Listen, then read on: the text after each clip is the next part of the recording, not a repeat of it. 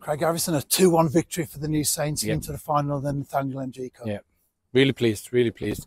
You know, it's. Um, you know, we've had a we've had a tough few weeks, and you know, to come, you know, away to Barrytown, it's, you know, well, it was supposed to be a, a 5:45 kickoff. Obviously, you know, we got caught in accident on the way from Cardiff here, and its ended with was 6:30 kickoff. You know, for, for some reason, why I do not know. but that's what we've been given and we'll get on with it and the lads performed really really well you know first half we were cruising you know second half obviously they scored a goal and one goal in it but never really threatened were apart from one counter attack that you know hit the post and were cleared off you know so so yeah really pleased and really really pleased that you know there's a lot of lads there that haven't played 90 minutes that got 90 minutes today which is brilliant And he went for three centre backs as well with yep. and at the centre of the yep. trio. Was that something that you'd been thinking about for a while, maybe? Yeah, I've done this it a couple of times. Yeah, we've done it a couple of times, and you know we've had a little look at it, and it was a great opportunity to have a look at it today. You know, obviously it's a semi-final cup we want to go through, but we've you know we've we've had some um, you know, long long travel, a lot, lot of games, and you know we needed to rotate players. And I think there's only there's only two players started that that played um, the last game.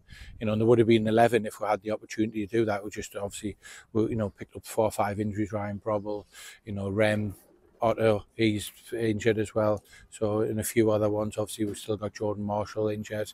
You know, Jack, uh, J, JD, Uh, Josh Daniels has, has picked up ankle injury, so we've got we've got quite a few. Dan Wills, you know, was sick this morning before we got here.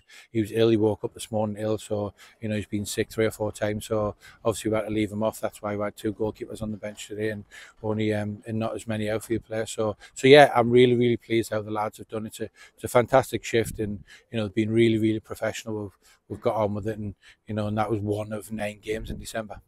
and a couple of goals as well for Declan McManus. How yep. difficult was it to take him off when he was on a hat trick? Yeah, it wasn't because Dex has been injured. You know, Deck missed missed two or three weeks training ten days ago. We got him fit for Jay Gordon, and he, he wasn't down to play today. He wouldn't have played today, you know, because he had a bit of a tight hamstring. So he's done a, you know, it was all planned. You know, we're going to get him 60 minutes. We're going to swap him with Jordan, rotate the minutes. to whatever the score was or whatever the way the game was going, We always going to do that because you know, you know, we're not too sure, you know, when Rem's going to be available again.